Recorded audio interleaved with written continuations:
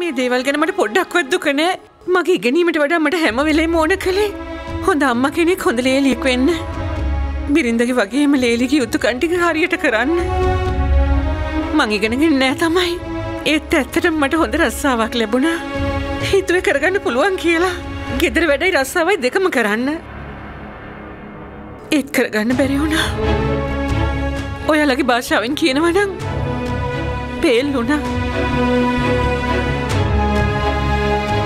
ඒත් මං උත්සාහ කළේ අම්මගේ තැන වගේ අනුපමටත් තැනත් දෙන්න.